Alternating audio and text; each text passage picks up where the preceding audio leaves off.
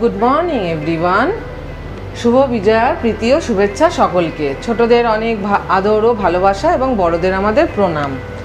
আজকে দশমীর পর রবিবার, সবাই মোটামুটি পুজোতে ঘুরে কিছুটা ক্লান্ত। আজ বাড়িতেই আমরা সময় কাটাবো এবং তোমাদের সাথে সেই মুহূর্তগুলো ভাগ করে নেব। ঘড়িতে এখন সাতটা বাজে, আমরা সবাই ঘুম থেকে উঠে পড়েছি। ওই যে দূরে আমার মেয়ে বসে আছে।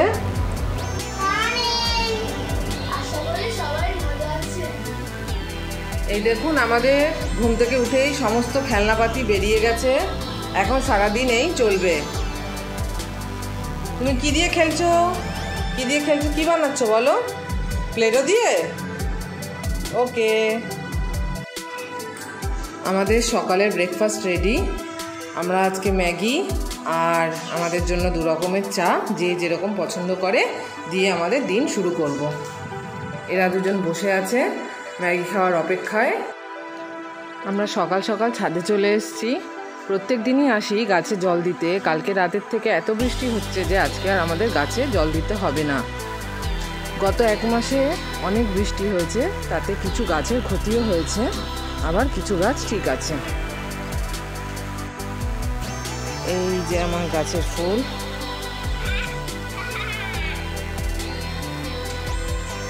কাব্য আর নিধিও একটুখানি খোলা আকাশের নিচে খেলা করে নিতে পারছে।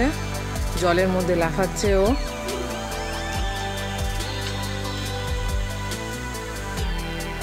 আজ ফোরকাস্টেও আছে যে বৃষ্টি হবে। রবিবার ছোটোখাটো কোনো জায়গায় ঘোরার জন্য বেরোনো যেতে পারতো, কিন্তু মনে হচ্ছে যা বৃষ্টি হবে, আমরা বাচ্চা কাচ্চা নিয়ে বেরোতে পারব না। দেখা যাক।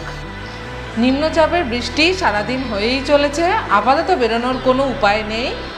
আমি দুপুরে রান্নার আয়োজন করতে যাচ্ছি। কাব্য আর নিধি ওদের ফেভারিট ব্লগস গেম নিয়ে বসছে। আজ রবিবার। আজ আমাদের পড়ার ছুটি তাই আজকে আমরা vlogs নিয়ে বসেছি।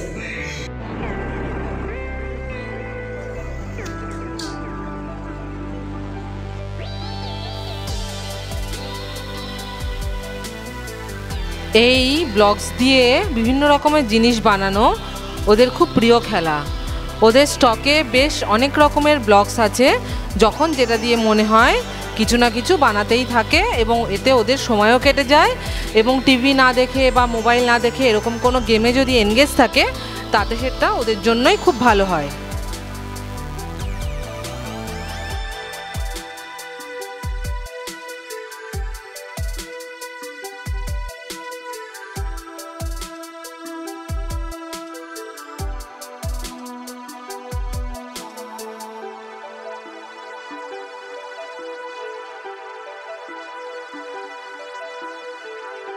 নিধি আমায় বলল যে ও একটা বাচ্চা কুকুর বানানোর চেষ্টা করবে এই ব্লগস দিয়ে।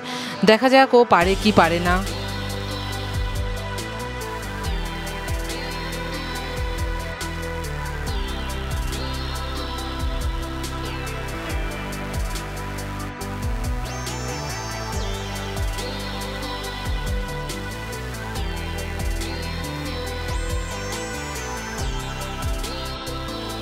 ব্লগসগুলো অ্যাসেম্বল করার পর মনে হচ্ছে ও কিছুটা বাচ্চা কুকুরের মতো শেপ দিতে পেরেছে। খুব আনন্দ পাবে ও নিজেই এটা দেখলে পরে। Baby doggy ready. আর এক রকমের ছোট ছোট ব্লগস দিয়ে আরেক দিকে কাব্যও কিছু বানাচ্ছে। আমি ওকে বলেছি, খুব কম সময়ের মধ্যে কিছু একটা বানিয়ে দেখা যায় দেখা যাক ও কী বানাতে পারে।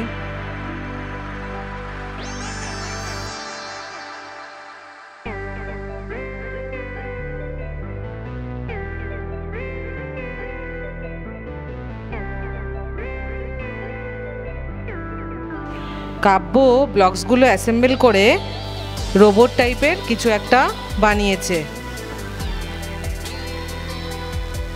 ঘরে বসে বসে বোর হয়ে যাচ্ছি। কাব্য আর নিধি চকলেট কেক খেতে চাইলো, তাই ঘরেই চকলেট কেক বানিয়ে নিলাম। চলুন দেখি আমাদের চকলেট কেক কেমন হলো এবং কেমন লাগছে খেতে। একরকম এক্সপেরিমেন্ট করেই এই চকলেট কেকটি তৈরি করা হয়েছে। এখন নিধি এটাকে কাটবে আর আমরা সবাই মিলে দেখব এটি কেমন হয়েছে খেতে।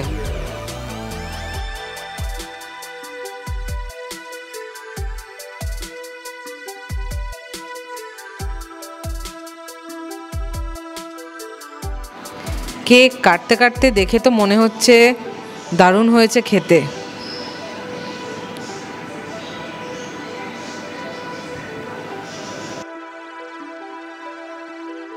দুর্গাপুজোর পরে প্রথম রবিবার আমাদের লাঞ্চ তৈরি, চিকেন কষা, সাদা ভাত আর স্যালাড।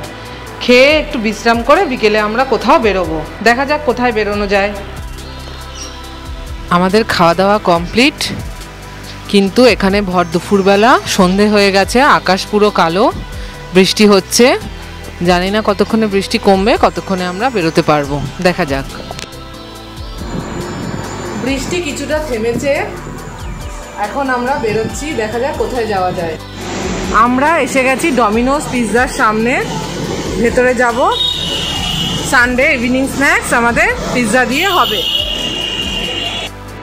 অধীর আগ্রহে অপেক্ষা পিৎজা আসার জন্যে। আমাদের পিৎজা রেডি